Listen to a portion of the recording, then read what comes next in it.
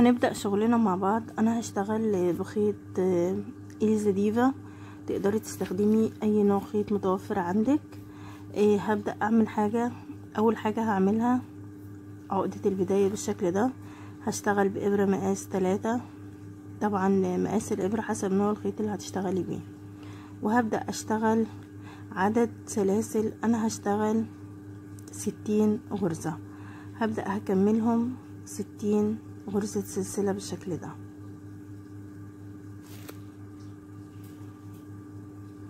تمام يا بنات أنا هنا اشتغلتهم خمسين غرزة. آه لقيت ستين هتكون الوردة كبيرة فالحجم ده مناسب ليا. آه خمسين غرزة سلسلة. هبدأ بعدها أرتفع اتنين سلسلة.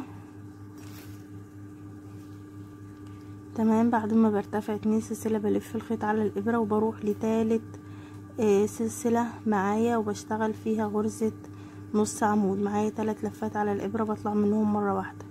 وبعدها بلف الخيط على الإبرة وبدخل في الغرزة اللي بعدها بسحب الخيط. معايا تلات لفات بطلع من التلات لفات مرة واحدة. وهكمل شغلي بغرزة النص عمود بالشكل ده. هدخل في كل سلسلة تقابلني. غرزة نص عمود. نخلي بالنا نشتغل على العدلة بتاعة السلسلة كده. يعني ما نشتغلش غرزة كده والسلسلة تلف معايا لا. نخلي بالنا نبقى شغالين على سطر واحد وندخل في كل غرزة وبنشتغل بغرزة النص عمود. هكمل غرز السلسلة كلها ونرجع نكمل مع بعض. بغرزة النص عمود. هبدأ في آخر السلسلة. هرتفع تلاتة سلسلة وهلف الشغل الناحية التانية. وهلف الخيط على الإبرة وهدخل في أول غرزة في السطر وهشتغل فيها عمود بلفة. تمام؟ بعدها هاخد اتنين سلسلة وهلف الخيط على الإبرة وهرجع لنص الغرزة لنفس الغرزة وهشتغل كمان عمود بلفة وهلف الخيط على الإبرة وهشتغل كمان عمود بلفة. أهو. أنا ارتفعت تلاتة سلسلة واشتغلت عمود بعدها خدت ارتفاع اتنين سلسلة واشتغلت اتنين عمود في نفس المكان. ده كده الشكل معايا. بعدها هعمل إيه؟ هاخد غرزة واحدة وهلف الخيط على الإبرة وهعد واحد اتنين تلاتة في السلسلة رقم تلاتة وهشتغل عمود بلفة. بعدها عمود بلفة في نفس المكان.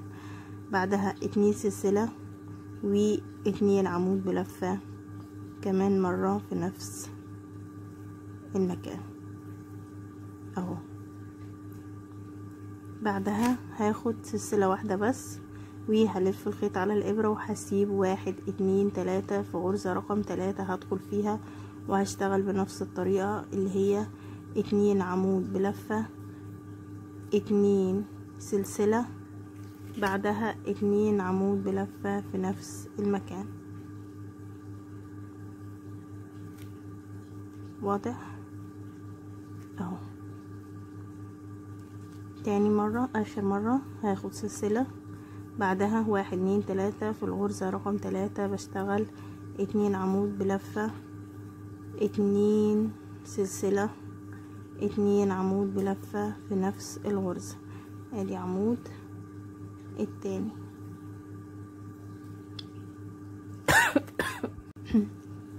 عفوا يا بنات. وبكمل لنهاية السطر بنفس الطريقة. بعد تلات غرز في الغرزة التالتة بشتغل فيها اتنين عمود بلفة اتنين سلسلة اتنين عمود. ده بيكون الشكل معايا. بكمل لنهاية السطر بنفس الطريقة. وسط السطر معايا هعمل إيه؟ العدد طلع معايا بالظبط. هرتفع تلاتة. سلسلة وهلف الشغل الناحية التانية. شايفين الفراغ اللي كنا ناخده بين كل اتنين عمود والتا والتاني اللي هو اتنين عمود اتنين سلسلة. بفراغ الاتنين سلسلة ده هعمل إيه؟ هشتغل ست عمود بلفة. واحد اتنين تلاتة أربعة خمسة. العمود رقم ستة. تمام؟ وهقفل فين؟ هنا كنا بناخد فراغ سلسلة بين كل صدفة والتانية. في الفراغ ده هشتغل فيه غرزة حشو. تمام؟ بعدها بلف الخيط على الإبرة وبروح للصدفة اللي بعدها مباشرة واشتغل في الفراغ اللي في الوسط ده. بشتغل فيه إيه؟ ستة. عمود بلفة. اتنين. تلاتة. أربعة خمسة العمود رقم ستة. وبقفل فين أهو في الفراغ ده. فراغ السلسلة بقفل بغرزة حشو تمام؟ ونلف الخيط على الإبرة ونروح للصدفة اللي بعدها ونكمل فيها ستة سلسلة. ستة عمود. تمام يا بنات؟ أهو الستة وبنقفل بغرزة الحشو بنروح في كل فراغ من الفراغ الاتنين سلسلة بنشتغل فيه ستة عمود بلفة وبنقفل في غرزة حشو فين؟ في فراغ السلسلة الواحدة اللي بين كل صدفة والتانية. ونكمل شغل السطر كله بنفس الطريقة دي. في كل فراغ بشتغل ستة عمود بلفة وبقفل بغرزة حشو في غرزة السلسلة اللي كنا بناخدها فراغ بين كل صدفة والتانية. وهنا وصلت لآخر صدفة واشتغلت فيها ست عمود وهقفل أول غرزة كده أهو هقفل بغرزة حشو وكمان بعدها هاخد سلسلة وهبدأ هاخد مسافة من الخيط وأقص الخيط وأسحب الخيط بالشكل ده وهخلي الخيط ده معايا هجمع بيه الوردة بتاعتي. تمام هبدأ هنا هجيب إبرة إبرة معدن اللي هي بالشكل ده إبرة تشطيب المعدن وهلضم فيها طرف الخيط بالطريقة دي. بظبط الخيط بس. وهنا هبدأ ألف الوردة بتاعتي بالشكل ده.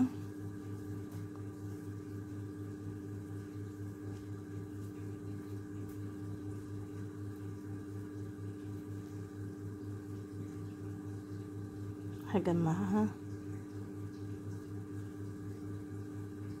كده.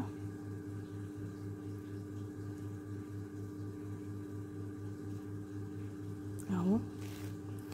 وهجيب طرف الخيط وهبدأ ألفها كده. وهخيط هجمع اللفات اللي أنا لفيتها دي في بعضها كده بالإبرة. تمام. وهرجع تاني من مكان تاني كده. هحاول آخد كل اللفات معايا بحيث أجمع الوردة كلها. ما تتفكش مني بسهولة. أهو.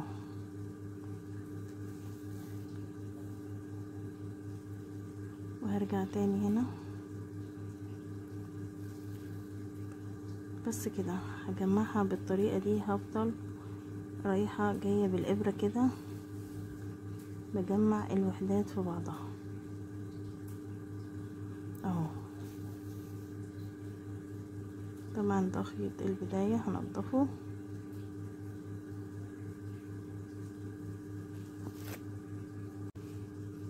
أهو يا بنات ده شكلها بعد التجميع وده حجمها. إيه طبعا نقدر نشتغلها بأنواع خيوط مختلفة. ده خيط كريستال. عدد الغرز البداية كان أكبر فالوردة معايا أكبر بالشكل ده. وده كمان خيط ديفا بس عدد الغرز البداية أكبر فهنا الوردة دي أكبر من دي. طيب نقدر نستخدمها في حاجات كتير قوي ومنها نقدر نستخدمها في إيه ماسك إيه ستارة بالشكل ده. على قماش ستارة هتشتغلي بعد ما تشتغلي الوردات هتثبتيها بالإبرة والخيط وتقدري إن انتي آه تلمي بيها ستارة بالشكل ده. هيكون شكلها كده. دي هتربطي طبعا الستارة. شكلها هيكون تحفة جدا ومميز. إيه، وطبعا نقدر نستخدمها في تزيين الملابس نقدر نعمل منها توكل الشعر إيه، إيه، تزيني بيها الشنط حاجات كتير جدا هتستخدمي فيها الوردة البلدي دي أو الوردة المجسمة طبقات. وده كان فيديو النهاردة. يا رب فيديو النهاردة يكون عجبكم والشرح يكون واضح. لو عجبك الفيديو ياريت تعملي لايك واشتراك للقناة لما كنتيش مشتركة معايا في القناة وتفعيل زر الجرس على الكل. علشان يوصلك إشعار بكل فيديو جديد دمتم في حفظ الله والسلام عليكم ورحمة الله وبركاته.